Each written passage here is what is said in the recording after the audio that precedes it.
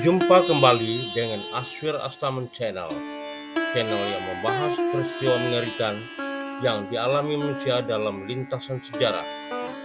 Judul video kita kali ini adalah Fakta Mengerikan Pembantaian 3 Juta Orang Bangladesh oleh pasukan Pakistan tahun 1971.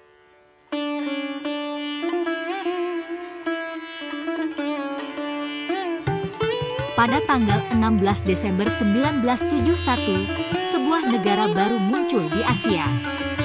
Seperti di Indonesia, mayoritas penduduk di negara yang baru lahir itu beragama Islam. Negara tersebut tidak lain adalah Bangladesh, yang merupakan bagian dari Pakistan sebelum kelahirannya.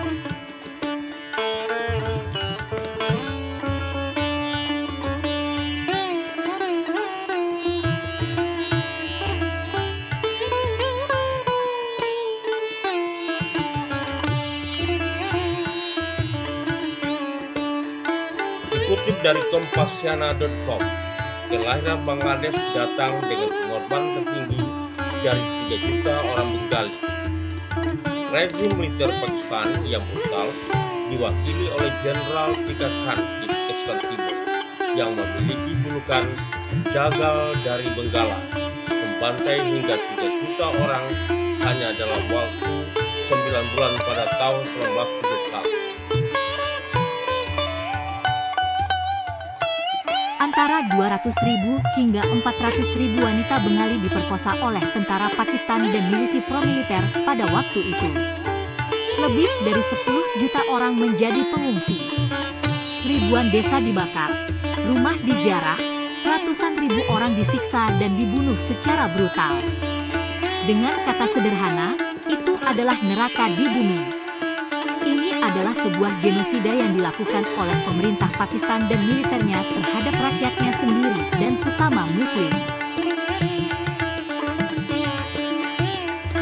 Rakyat Pakistan Timur di bawah kepemimpinan besar Syekh Mujibur Rahman secara heroik berperang melawan rezim yang meninggal.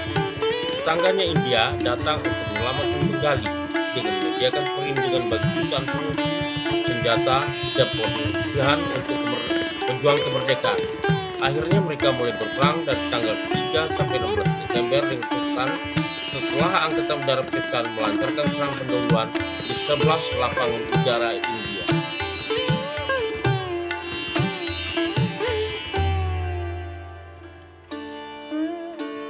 Tentara India dan gerilyawan Mukti Bahini, sebuah gerakan perlawanan bersenjata yang terdiri dari tentara Bengali yang membelot polisi dan warga sipil bertempur bahu-membahu melawan tentara Pakistan yang kejam dan milisi agama.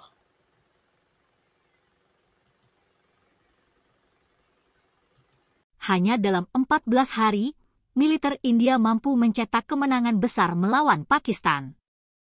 Pada tanggal 16 Desember 1971, 93.000 tentara Pakistan menyerah kepada militer India dan Mukti Bahini di Ramna Race Course di Dhaka, ibu kota Bangladesh. Hari itu merupakan kelahiran Bangladesh, tetapi Bangladesh merayakan hari kemerdekaannya pada tanggal 26 Maret 1971. Aswir Astaman Channel, terima kasih telah berkunjung.